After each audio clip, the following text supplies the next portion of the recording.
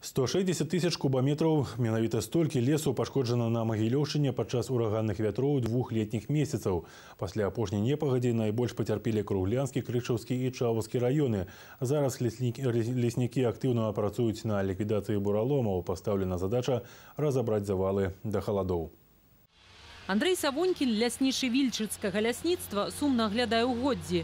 Лес паламала нібы запалкі. Раніцай пасля ўрагана узгадвае мужчына, сумная была карціна. Дарогу ўздоўж лесапаласы заваліла дрэвамі і галлём. Где-то в общей сложности в районе 30 гектар сплошной. Ну и выборочный где-то гектар, наверное, 300 единичные деревья. Площадь, э, может быть, если бы она была одним куском, она была бы небольшая, но так маленькие лесосеки, ну, достаточно ощутимо. У вільчацкім лясніцтве пакінулі планавыя вырубкі і пачалі расчыстку бураломаў. Вальшчыкі спяшаюцца, каб драўніна не страціла сваіх таварных якасцяў. Да і небяспечна пакідаць пашкоджаныя дрэвы ўздоўж дарог, газаправодаў і ліній электраперадач. разобраться на лесосеке, вот. особенно сейчас придорожная, так как бурелома хватает. Вот. Ну и, естественно, заталим, реализуем, подвозим, трелюем. Весь технологический процесс.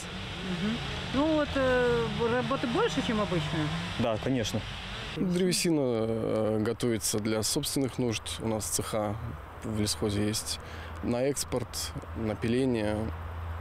Вся древесина пригодна к дальнейшей переработке. Привлекаем э, силы своего лесхоза, потом частные организации помогают тоже как бы для лесхоза, для собственных нужд. Канешне, гэта не мінскія разбурэнні гавораць леснікі, аднак круглянскаму, крышаўскаму і чавускаму раёнам ураган нанёс значную шкоду. Дапамагчы, а таксама скарыстацца сітуацыяй могуць тыя, хто вырашыў нарыхтаваць дровы самавывазам. Кацярына Градніцкая, Віталий Алексеенко, навіны рэгіён.